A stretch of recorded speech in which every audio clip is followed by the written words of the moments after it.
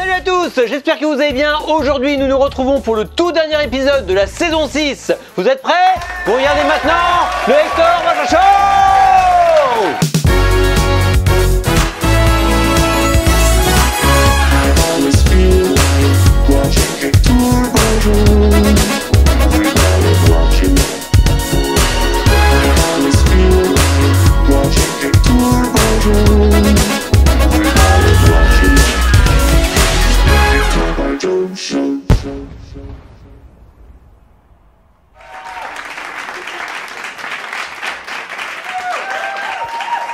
Et oui les amis, aujourd'hui c'est le tout dernier épisode de la saison 6 du Hector Barjo Show. Je sais que la plupart d'entre vous seront peut-être déçus car comme tous les ans, eh bien je fais une petite pause pendant l'été. Et oui, vous ne vous en doutez peut-être pas, mais faire toutes ces vidéos demande beaucoup d'énergie, beaucoup de travail et beaucoup de temps. Et figurez-vous les amis que cette saison 6 aurait été la plus productive de toutes mes saisons. J'ai publié plus de 70 vidéos cette année. Et donc pour cette toute dernière vidéo, j'avais pas mal d'idées en tête bien voulu faire peut-être un top 10 des plus gros collectors de ma collection, mais je garde cette idée pour la saison prochaine. J'ai donc trouvé pour cette toute dernière vidéo un autre concept qui m'a été légèrement soufflé par mon ami Bilal. Vu qu'il s'agit de la toute dernière vidéo de la saison, c'est une vidéo bilan, donc nous allons essayer de faire un petit bilan de mes achats sur la saison 6 de septembre 2020 à juin 2021. J'ai donc décidé de vous retracer mois après mois cette saison 6 en vous présentant un objet que j'ai reçu chaque mois pendant cette saison. Vous vous demandez sûrement comment je fais pour me rappeler de chacun de mes achats mois après mois. Eh bien c'est très simple. À chaque fois que je reçois un nouveau collector, je le prends en photo et je le publie dans un album en privé sur Facebook. J'applique cette méthode pour garder en mémoire chacun de mes achats depuis 2017. J'ai donc créé un album pour chaque année et donc euh, pour mon année eh bien 2017, je sais exactement combien de collectors j'ai acheté et je sais aussi également à quelle date je l'ai acheté. Et pour vous parler un peu plus de ma méthode pour trier après mes collectors, j'ai aussi un listing Excel qui reprend eh bien, le nom du collector, la provenance, l'année d'achat et surtout le prix d'achat. Ce sujet d'ailleurs autour du classement des collectors et des listings de collectors est vraiment très intéressant. Je vous ferai peut-être une vidéo à ce sujet dans la prochaine saison. En attendant, commençons ce petit pot pourri de mes acquisitions sur la saison 6. Commençons par un objet acheté en septembre 2020. Il s'agit du Reel to Reel de l'album Third Album. J'ai choisi cet objet aujourd'hui car je ne vous avais jamais présenté auparavant ce genre de format. Si vous ne le savez pas, les to Reel Ampex sont des bornes magnétiques avec une très bonne qualité sonore. Ils ont été commercialisés essentiellement aux États-Unis. Comme vous voyez, ce Reel est présenté dans une très belle boîte en carton de très bonne qualité. Ouvrons ensemble maintenant cette belle boîte Reel et donc à l'intérieur de cette boîte, eh bien nous trouvons cette fameuse borne magnétique. C'est vraiment très joli comme collector. Vraiment, j'adore ce genre de support. Comme vous le voyez, ma copie n'a jamais été écoutée. Il y a encore le sticker Ampex stéréo qui tient le début de la bande. À l'arrière, nous avons une belle mise en page très sobre avec la mention Print in USA. Les reel to reel, comme vous vous en doutez, sont très rares, très compliqués à trouver en Europe. Prix estimatif, et attention, c'est à ce moment-là d'habitude que je vous donne un prix estimatif, mais tout d'abord, je voulais vous faire une petite précision sur les prix estimatifs que je vous donne dans mes vidéos. Effectivement, si nous étions dans un épisode lambda d'Hector Barjo Show, je vous aurais donné tout de suite un prix estimatif aux alentours de 150 euros. Mais alors, pourquoi je vous aurais donné un prix estimatif d'environ 150 euros? Eh bien, tout d'abord, si vous allez voir sur eBay, tout de suite maintenant, à mon avis, il y aura peut-être une annonce quelque part sur Terre pour un reel to reel de ce type et d'expérience je sais que le prix va tourner entre 100 et 150 euros.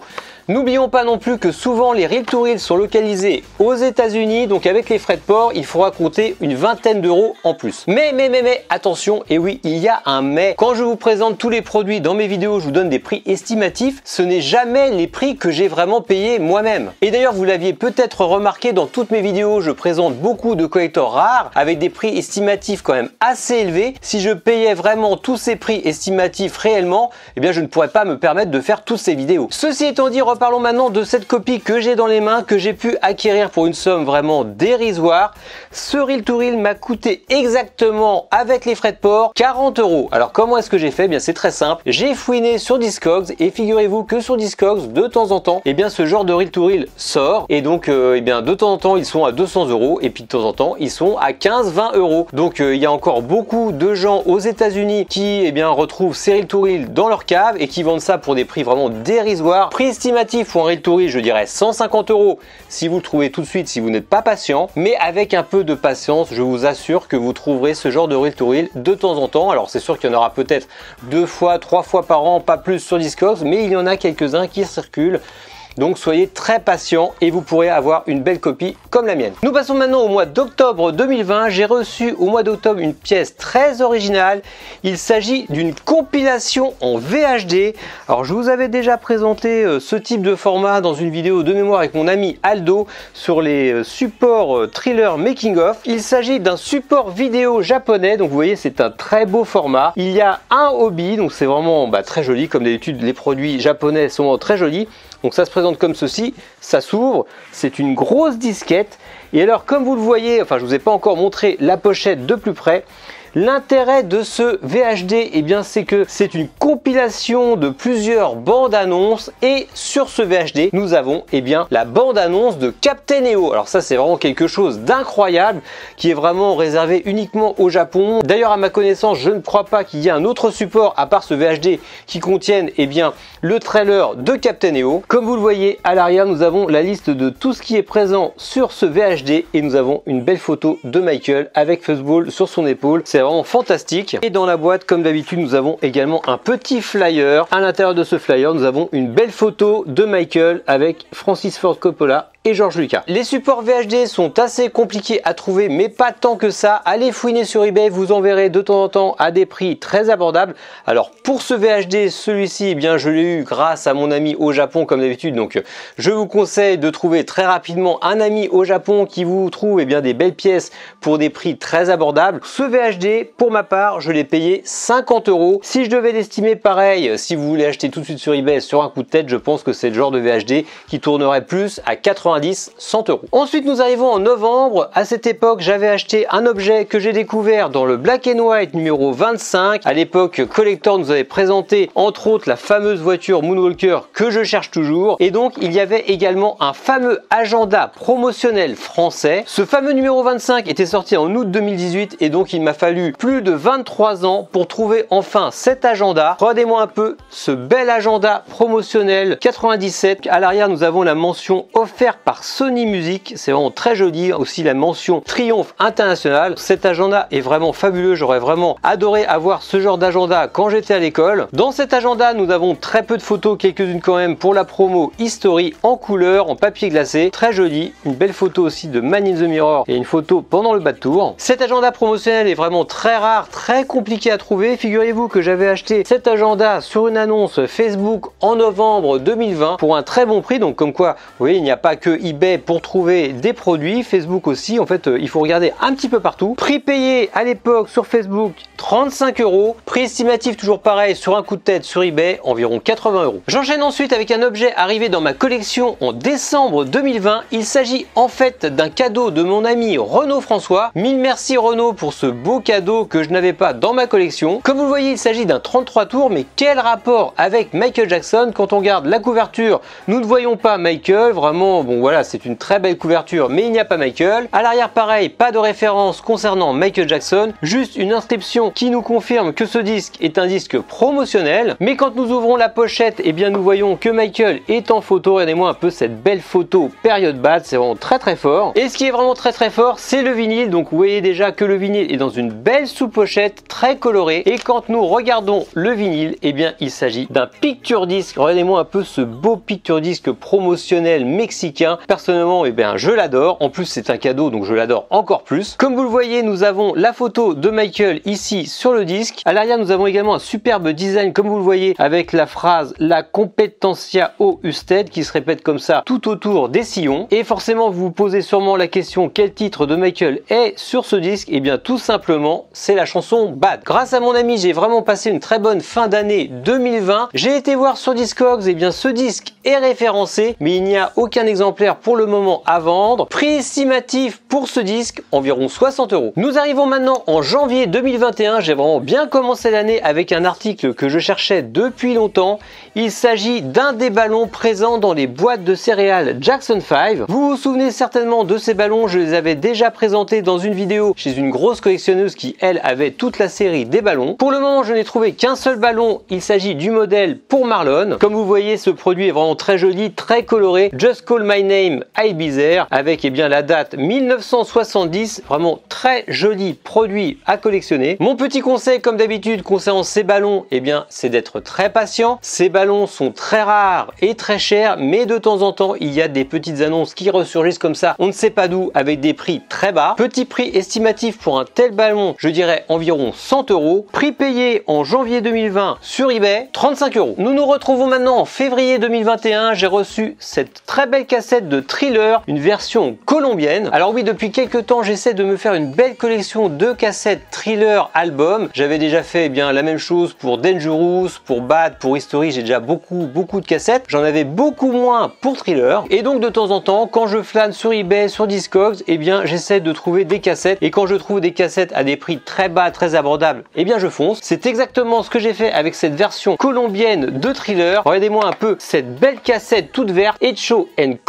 Cette cassette, je l'ai trouvée sur Discogs. Je l'ai achetée directement en Colombie. Elle a dû mettre environ deux mois pour arriver. Mais une fois de plus, j'ai été très patient. Je vois sur eBay de temps en temps ce genre de cassette tournée aux alentours de 80 euros. Mais je suis très content une fois de plus d'avoir pu rentrer cette cassette colombienne pour exactement 21 euros. On enchaîne avec le mois de mars 2021. Alors mars 2021, j'ai cassé matière Je flânais sur Vinted. D'habitude sur Vinted, on achète toujours des choses à 2 euros, 3 euros et je tombe sur quoi Je tombe sur cette superbe veste du History Tour. Regardez-moi un peu cette veste. J'ai toujours rêvé d'avoir une de ces vestes dans ma collection, mais à chaque fois, eh bien, les prix étaient très très élevés. Donc je flâne sur Vinted, je demande d'avoir un prix d'amis et figurez-vous eh bien qu'il s'agissait d'un ami à moi qui vendait cette veste. Donc j'ai eu un très bon prix d'amis. Comme vous voyez, cette veste est vraiment assez jolie. Elle est en parfait état avec le beau logo History World Tour, vraiment très joli. Bon alors après pour le niveau du prix, eh bien ce n'est pas le bon exemple. D'habitude, comme je vous le disais sur eBay, je trouve toujours des choses à 5 euros, 10 euros, 15 euros. C'est vraiment très bon marché. Mais là, nous parlons vraiment d'une veste collector qui tourne très souvent à 150 200 voire 250 sur eBay. Mais bon, de temps en temps les amis, il faut bien se faire plaisir. Prix d'amis grâce à toi Alex et merci beaucoup pour ce prix d'amis. J'ai payé cette veste avec les frais de port, 100 euros tout rond. Ensuite, nous arrivons en avril 2021 avec vraiment une très belle trouvaille. Il s'agit de ce superbe poster pour le Victory Tour en partenariat avec Yoplait. Regardez-moi un peu ce beau poster. Alors figurez-vous que j'étais chez un ami qui voulait me vendre bien d'autres objets et puis il me montre ce poster qui était tout plié comme ça dans un coin. Il me dit bon bah voilà j'ai ce poster, il est beau hein, le poster. Bon je le fais pas très cher, tu le veux et tout. Alors là je me tâte un peu, je vois le poster, je dis mais qu'est-ce que c'est que cette fabuleuse photo avec Yoplait? Je n'avais jamais vu ça. Et donc du coup il me fait un prix canon. Imaginez un peu ce superbe poster promotionnel je l'ai payé 20 euros. Je ne pouvais vraiment pas refuser pour 20 euros. Regardez-moi un peu ce poster, il est vraiment unique. J'avais d'ailleurs partagé cette photo sur Facebook à l'époque. J'avais d'ailleurs retravaillé la photo sur Photoshop. Et pendant que je parle de poster, je fais un petit clin d'œil à mon ami Émilie qui nous a posté assez récemment une vidéo YouTube pour nous expliquer comment restaurer les posters. Alors moi j'ai une petite technique en plus qu'elle n'avait pas évoquée. Effectivement le poster avait été assez plié, il y avait beaucoup de marques de sur le poster.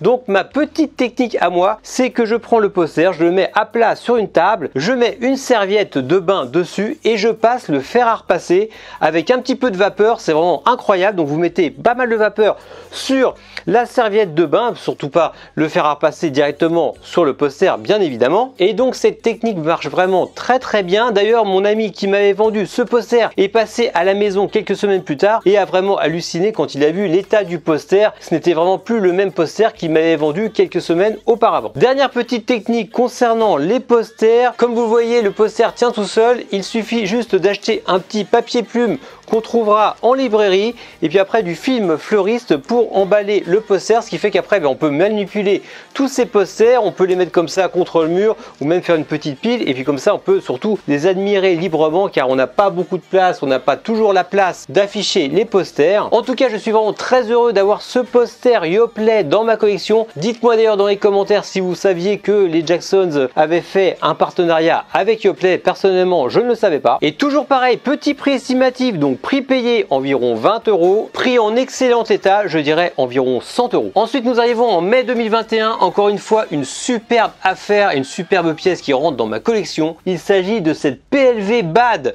en grandeur nature. Regardez-moi un peu cette belle PLV de Michael. Alors il s'agit d'une vraie PLV de 87, pas d'une réédition. Alors je vais vous raconter un petit peu l'histoire autour de cette PLV. Été toute une aventure, enfin été très rapide, mais il y a eu quand même un petit peu de parlementation. En effet, je suis tombé sur cette PLV sur eBay. L'enchère ne venait que de commencer, enfin c'était pas une enchère, c'était un achat immédiat. Et de mémoire, je crois que le prix d'achat immédiat était de 200 ou 230 euros. Mais vous me connaissez, je n'étais pas prêt à mettre 230 euros dans cette PLV, c'était quand même un peu cher, euh, surtout que j'avais déjà une PLV de ce type, une réédition 2010, je voulais juste en avoir une vraie de 87. Mais une fois de plus, j'ai eu beaucoup de chance car je connaissais le fameux vendeur qui est assez connu d'ailleurs. Donc du coup, je décide de le contacter et lui demander tout simplement, bah voilà, euh, quel serait ton prix d'amis pour ton pote Hector Barjot? Sois sympa avec moi. Et donc du coup, ce vendeur me dit, bon allez, 150 euros, c'est bon, tu viens la chercher, c'est vendu. Du coup, je réfléchis quelques minutes, je me dis 150 euros, oh là, c'est quand même une sacrée somme, mais pour une PLV de ce type que j'estime quand même aux alentours de 250-300 euros, c'était déjà un prix canon. Je me dis, allez, banco, je file, je prends la voiture, j'embarque la PLV. Mais l'histoire ne s'arrête pas là. Effectivement, je traverse tout Paris, j'arrive dans Paris et le fameux vendeur avait envoyé sa femme pour me remettre cette PLV. Donc j'arrive, je me mets en double fil et là, sa femme me baragouine un truc, je comprends pas trop ce qu'elle me dit. Elle me dit bon, euh, finalement, euh, vu que l'état est pas terrible, terrible. Alors donc la PLV était totalement emballée, je pouvais pas voir la PLV, mais la PLV est pas dans un super état, donc du coup, euh, il a décidé de te la faire à 100 euros. Ok, d'accord, 100 euros, c'est bizarre. Bon, ok. Bon allez, je prends, c'est bon, je pars avec la PLV. Je rappelle direct le vendeur derrière. Je lui dis mais qu'est-ce qui se passe? Alors c'était 150 euros. Et puis ta femme, elle me dit c'est 100 euros. Et il me dit ah oui mais non, mais elle a rien compris. Vu l'état, c'est un état nickel. 100 euros, c'est pas cher. Je voulais te faire vraiment un super prix d'amis, un super prix canon. Donc du coup, ça ne sera plus que 100 euros. Donc là, franchement, j'étais aux anges. J'ai une PLV qui vaut dans les 250-300 euros à 100 euros. Donc là, j'étais vraiment très content. Mais l'histoire autour de cette PLV n'est pas terminée. Donc du coup, j'ai payé 100 euros pour cette PLV. Mais j'avais toujours mon autre PLV Bravado 2010 dans ma collection, que j'avais donc depuis 11 ans dans ma collection. Et je me suis dit, en ramenant cette PLV, que ça ne servait à rien d'avoir deux PLV qui se ressemblaient. Et du coup, j'ai tout simplement décidé de me séparer de mon autre PLV Bravado 2010. J'ai d'ailleurs trouvé un accord très sympathique que j'ai rencontré sur Paris. Cette PLV Bravado 2010 est quand même assez recherchée, je l'estime aux alentours de 120-150 euros, mais je voulais vraiment lui faire un prix d'amis. Je lui ai revendu exactement le prix que je l'avais payé en 2010, c'est-à-dire 60 euros. Donc pour vous résumer, le prix de cette PLV que j'estimais dans les 250 euros, que j'ai trouvé à 230 euros sur eBay, qui est passé à 150 euros, qu'on m'a finalement vendu à 100 euros. Si on ajoute à ceci, eh bien, les 60 euros que j'ai pu récupérer de l'autre PLV BAD, eh bien, j'ai pu récupérer cette belle PLV pour 40 euros. Ce qui fait au final un très beau collector pour un prix dérisoire. Nous arrivons au dernier objet de cette vidéo. Il s'agit d'un objet reçu en juin 2021. Il s'agit d'une superbe visière pour le Bad Tour 88. Regardez-moi un peu cette belle visière. Alors cette belle visière eh bien, est très rare, très compliquée à trouver. On la voit très très peu souvent, on la voit même jamais sur eBay, on la voit de temps en temps circuler entre collectionneurs. Et donc comme d'habitude j'ai eu beaucoup de chance avec cette visière, je suis tombé sur une enchère sur eBay, personne n'avait encore enchéri mais je savais très bien que les enchères allaient vraiment beaucoup monter car j'estime cette visière à environ 150 euros. Du coup j'ai décidé d'envoyer un message personnel au vendeur pour voir avec lui s'il pouvait me faire un prix sympa directement comme ça sans passer par eBay. Et figurez-vous que ce fameux vendeur était en fait un de mes contacts Facebook, euh, un mec très très cool que je suis sur Facebook. Donc du coup, il m'a dit, bah attends, euh, c'est moi Hector, qu'est-ce que tu fais là? Tu me, m'envoies un message sur Facebook, tu me demandes direct, il n'y a pas de problème. Donc du coup, euh, bah, je lui ai dit, bon bah ok, euh, quel prix tu me fais et tout, tu me fais un petit prix d'amis, sois vraiment sympa avec moi. Moi, je serais vraiment ravi d'avoir cette visière dans ma collection et puis de la garder pour toujours comme ça dans ma pièce Michael. Et du coup, Banco, le mec hyper sympa avec moi, il me fait la visière à 70 euros. Alors vous avez peut-être un peu hurlé, vous allez dire 70 euros pour une visière Tour 88, c'est vraiment très très cher. Bah, je peux vous dire que 70 euros pour ce genre de visière, c'est vraiment un prix d'amis. J'ai vraiment fait une, affaire en or. C'est pourquoi je voudrais remercier une fois de plus mon ami pour m'avoir vendu cette visière. Elle va trouver une place de choix dans ma vitrine bas de tour. Et tout ça pour vous rappeler que tous les prix estimatifs que je vous donne dans mes vidéos ne seront pas forcément les vrais prix que vous aurez dans la réalité. Ce sont que des prix estimatifs. J'estime toujours cette visière à environ 150 euros. Mais prix payé pour ma part avec les frais de port 70 euros. Comme quoi avec un peu de chance tout arrive. Bon bien voilà c'est tout pour aujourd'hui. Nous aurons fait le tour de chaque collector que j'ai reçu chaque mois pendant cette saison. D'ailleurs tout ceci me donne une petite idée de vidéo challenge que vous pourriez réaliser à votre tour. Si vous vous sentez assez motivé pour faire une vidéo challenge, ça serait vraiment sympa. Essayez de me présenter 10 collectors de votre choix qui représentent chaque mois de la saison 6, donc de septembre 2020 à juin 2021. Je suis vraiment très impatient et curieux de découvrir ces vidéos. J'espère vraiment que vous serez très nombreux à relever ce défi. Bon eh bien c'est fini pour aujourd'hui, c'était le tout dernier épisode de la saison 6. Surtout, n'oubliez pas de vous abonner à ma chaîne si ce n'est pas déjà fait. Vous pouvez également profiter de l'été pour aller voir toutes mes précédentes vidéos. Il y a plus d'une centaine, 200, 300 vidéos, je ne sais plus, sur YouTube, sur ma chaîne YouTube. Donc euh, surtout, n'hésitez pas à les regarder. Vous pouvez continuer également à me suivre sur Facebook, sur Instagram et sur Twitter. Et je vous dis à bientôt. Salut